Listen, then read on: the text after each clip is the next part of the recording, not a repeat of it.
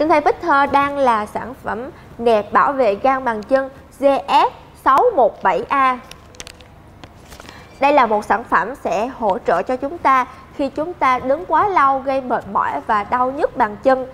À, đây là sản phẩm sẽ hỗ trợ chúng ta trong quá trình hoạt động thể thao như leo núi, chơi tennis, bóng bàn, bóng chuyền, đá bóng hay là đi bộ.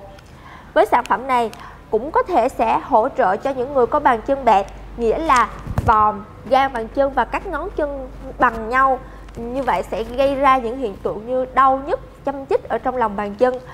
Đối với ờ, uh, nẹp bảo vệ gan bàn chân này sẽ tạo ra được tạo ra được một cái vòm chuẩn cho cái lòng bàn chân của mình Nẹp bảo vệ gan bàn chân của Goodfit với thiết kế mở với những khóa dán. Những khóa dán như thế này sẽ giúp chúng ta dễ dàng đeo và tháo và điều chỉnh phù hợp với tất cả mọi người.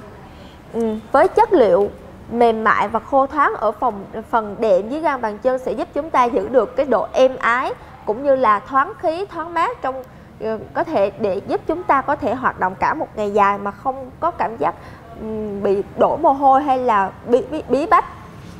ờ, đai nẹp bảo vệ gan bàn chân này là sản phẩm chính hãng của Woodfit được may bọc hết tất cả các viền như thế này sẽ tăng được độ bền của sản phẩm cũng như là tạo cái sự êm ái giảm ma sát trực tiếp lên trên da,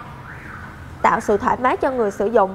với thiết kế nẹp cao su ở mặt trong của bàn chân sẽ khiến cho chúng ta có thể định hình được ờ, từ cái ngón chân cái cho đến nẹp bàn chân được thẳng đúng tiêu chuẩn và nhưng vẫn giữ được cái độ dẻo dai trong quá trình hoạt động hàng ngày.